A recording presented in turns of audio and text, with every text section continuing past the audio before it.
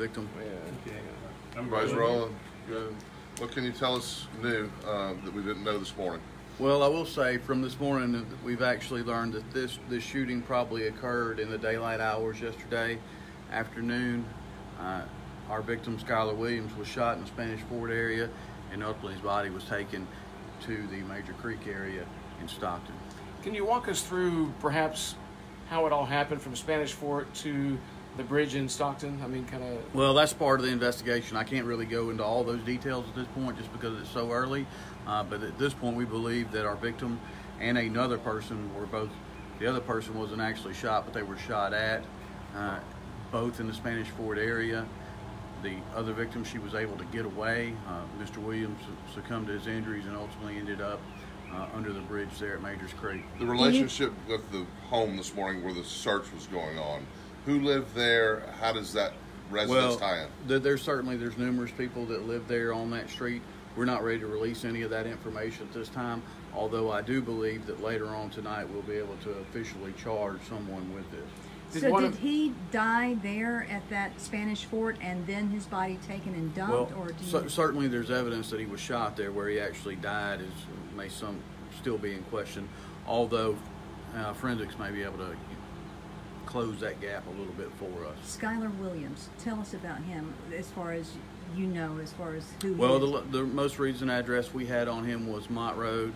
Um, his his family probably give you a much better background on him. He had been in our system before, though. um, and then the person, the person who actually found his body. Do you know any of the circumstances of? Because it's a, we've been out there. It's a hard place to find. Well, it, I mean, it's a bit odd to say the least.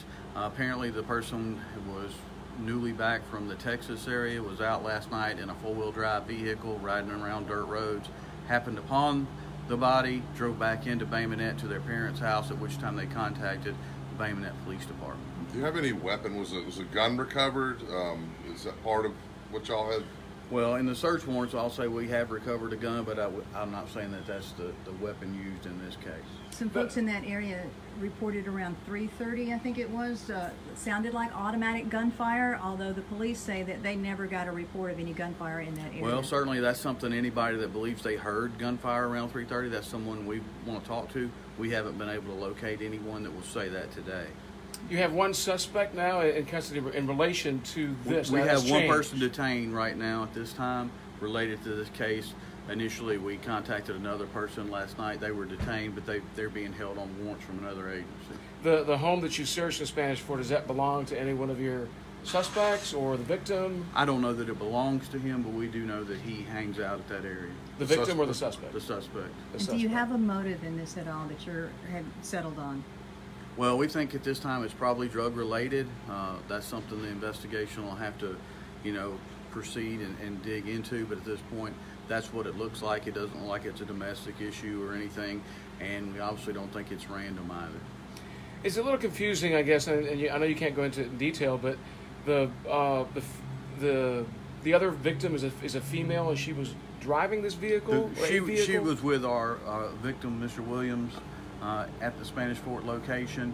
Uh, we believe shooting started, and she was able to get in the vehicle and drive away. That So the shooting was- didn't happen in the vehicle. They were outside the vehicle when this occurred. You believe? that Well, she narrowly I believe it happened both ways, if that's what you're asking. Yeah.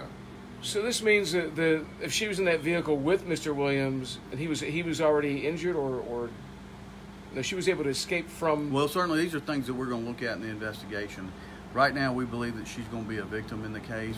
Certainly, hopefully later tonight, we'll be able to have the appropriate charges and de- define this better for you. So she was able to, to take off by herself in her vehicle. Is what you're saying, or was Mr. Williams in that vehicle with her? Mr. Williams ended up under Majors Creek Bridge in, in Stockton. Mm-hmm. So she fled the area. Okay. Okay. Did she ever report being shot at to you guys, or how did you We- find we- out you we- had her? we- yes, we do have a report from her now that she was fired at. But she waited until she did not report this at the time, though. Is that this came later? She didn't report to the Baldwin County Sheriff's Office at this time. At that time, no. Okay. All right. Thank, Thank you. you. You're welcome. Thank you. All right, so that's the latest on, sorry about that, uh, on the um, investigation into the homicide that we've been telling you about all day long. That was uh, Colonel uh, Anthony Lowry with the Baldwin County Sheriff's Office.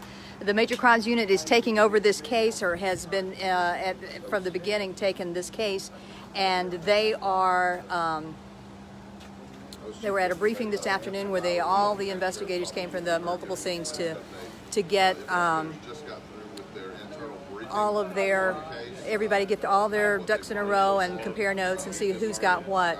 We had reported earlier that two people were detained.